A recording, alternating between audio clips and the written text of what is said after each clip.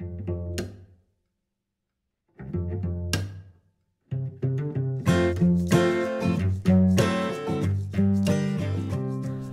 Irvin Mansky, a 95 year old resident at Winston Park, one of the Schlegel residences.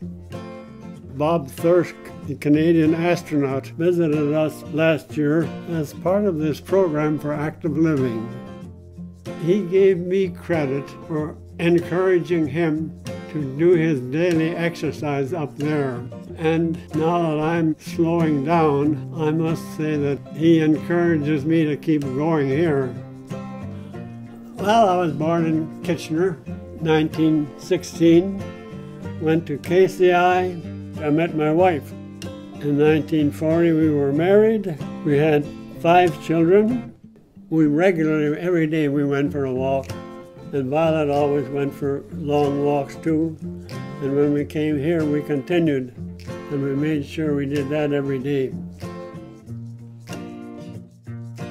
My boys and I really love playing Scrabble, and it's always a competition as to who is going to win. Against your better judgment? Ten. I couldn't make a three letter word there. I am a participant in the program for active living. You should walk 10,000 steps a day. Some days I get there and more days I don't. I really enjoy Tai Chi. I think it energizes you. Exercise to music. oh.